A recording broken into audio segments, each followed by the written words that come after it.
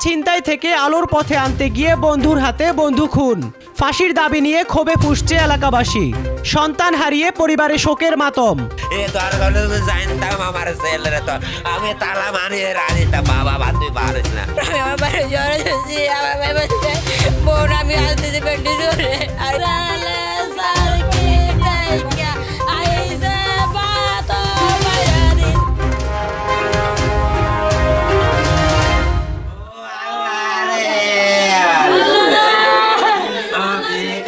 বুকের ধন আদরের মানিককে হারিয়ে মায়ের আহাজারি যেন থামার নয়। শোকের মাতম করছেন বাবা, ভাই, বোন সহ পরিবার এবং পাড়ার মানুষজন। মাদক ও চোরাই মোবাইলের ব্যবসায় বাধা দেয়ায় খুন হতে হলো দেওয়ানহাট সুপারিওয়ালা পাড়ার গার্মেন্টস কর্মী জাবেদকে। খুনি বাবু ছিলেন খুব কাছের বন্ধু। প্রিয় বন্ধুকে বিপথে যাওয়া দেখে বাধা দেয়ায় যেন কাল হয়ে দাঁড়াল তার জীবনে। বন্ধুকে আলোর পথে আনতে গিয়ে নিজেই ডুবে গেল অন্ধকারে ফাঁসি চাই ফাঁসি চাই ফাঁসি চাই ফাঁসি চাই ফাঁসি চাই রোববার রাতে মায়ের কাছে যখন ভাত খেতে চেয়েছিল জাবেদ ঠিক তখনই এলাকার বখাটে বাবু তাকে ডেকে নিয়ে উপর্যুপুরি ছুরিকাঘাত করে। পরে চট্টগ্রাম মেডিকেলে ভর্তি করা হলে সোমবার রাতে সেখানে মারা যায় জাবেদ আমার ছেলের লোক শত্রু না। আমার ছেলে সারকে ডাইকা আইসে বাতো বাইরানি ডাকা নিয়ে ফোন কইরা ঘটনা এ দরকার জানতাম আমার ছেলেরে তো আমি তালা মানিয়ে রাজিতা বাবা বা তুই পারিস না। এদিকে আশ্রয়ের জায়গা ভাইকে হারিয়ে শোকে মুজ্জমান বোনেরা। আমার ভাই গার্মেন্টস থেকে আসার পরে আম্মুরে বলছে ভাত ভাত দেওয়ার জন্য ভুক লাগছে। আম্মু ভাত দিছে। আমি ভাত দিয়ে বাথরুমে ঢুকছে গোসল করার জন্য।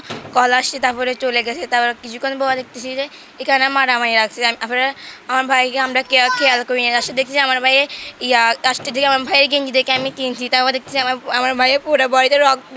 তারপর আমি আমার বাড়ি জ্বর এসেছি আমার ভাই বলছে বোন আমি আসতেছি পেন্টি জোরে আর কিছু আমার ভাই যে করেছে আমার বাচ্চারা যে এরকম আমরা আমরা তার সঠিক বিচার চাই।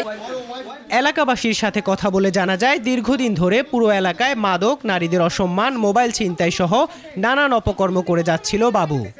ভয়ে এলাকাবাসী মুখ না খুললেও প্রতিবাদ করেছিলেন জাবেদ। তাই তাকে হত্যা করা হয়। জাবেদের সাথে প্রথমে ওর সাথে বন্ধুত্ব ছিল। বন্ধুত্বর মধ্যে জাবেদ যখন ও দেখছে অবৈধ ব্যবসা করে জাবেদের ডাক দেওয়ার কারণে জাবেদ কাছে এই ঘটনাটা ঘটছে গুড়ি ব্যবসা নিয়ে কথা চলতেছে ও ডাক দিচ্ছে কে? জাবেদে ডাক দিচ্ছে। জাবেদে ডাক দেওয়ার কারণে ও কি করছে? হাতে বয়ে লাগে গেছে। বাবু যাই কি করছে? ও একা ছুরি নিয়ে যায়। ওই জাবেদ ছেলেরে ওর বাসার সামনে প্রকাশ্যে দিয়ে বলে ছুরি দিয়ে আঘাত করে মারছে। অন্যদিকে বাবুর পরিবারও তার এমন অপকর্মে লজ্জিত হয়ে আইনে যে শাস্তি আছে তা মাথা পেতে নেবার কথা জানালেন। গর্তন বার করে দিয়ে দিয়ে দোষ করছে তো শাস্তি যেটা হয় ওইটাই। আমাদের করার কিছু নেই। হত্যাকাণ্ডের পরই বাবুকে গ্রেফতার করে ডবল ডবলমোরিং থানা পুলিশ।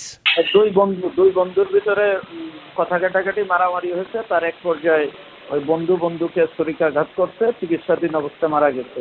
ওই আসামি অ্যারেস্ট হয়েছে। হত্যাকাণ্ডে ব্যবহৃত ছুরি উদ্ধার করা হয়েছে। স্থানীয়রা জানিয়েছেন সুপারিওয়ালাপাড়ায় বাবুর গ্যাংও রয়েছে। ইবেন মীর মহানগর নিউজ চট্টগ্রাম।